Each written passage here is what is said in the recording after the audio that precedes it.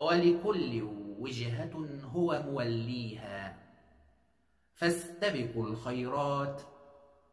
أينما تكون يأتي بكم الله جميعا. إن الله على كل شيء قدير. لهذه الآية الكريمة قراءتان. القراءة المشهورة ولكل وجهة هو موليها. وهناك قراءة أخرى لابن عامر. ولكل وجهة هو مولاها ومعنى القراءة المشهورة أن الله عز وجل هو مولي هؤلاء لهذه القبلة أو أن العبد مولي وجهه تجاه هذه القبلة والجهة. أما معنى قراءة ابن عامر هو مولاها أي أن العبد مولاها ومتجه إليها. فبادروا للطاعات واغتنموا الخيرات وسارعوا لجنات عرضها كعرض السماوات والأرض. كن ذكيا لا تشغل بالك بأهل الهوى والباطل.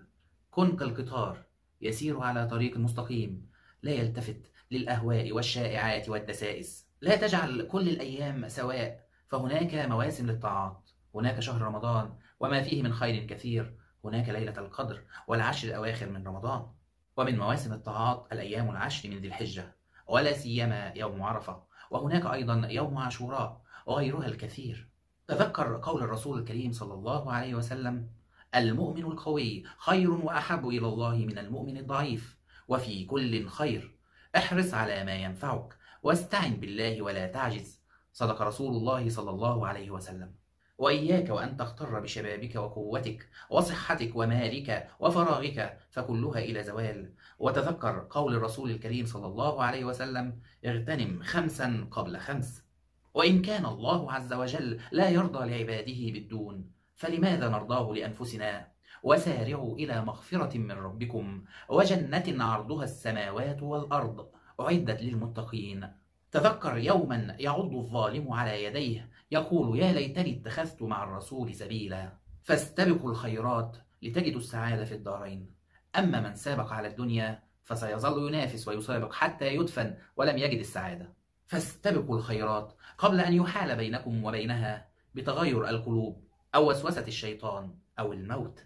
وتذكر دائما أن الجنة مئة درجة وأن أعلى الجنة وأوسط الجنة هو الفردوس. والطريق الوحيد الآمن هو أن نفر إلى الله ونسارع إلى الخيرات. ففروا إلى الله إني لكم منه نذير مبين. قال أمير المؤمنين علي بن أبي طالب رضي الله عنه وأرضاه ارتحلت الدنيا مدبرة وارتحلت الآخرة مقبلة ولكل منهما بنون فكونوا من أبناء الآخرة ولا تكونوا من أبناء الدنيا فإن اليوم عمل ولا حساب وغدا حساب ولا عمل. إن الله على كل شيء قدير.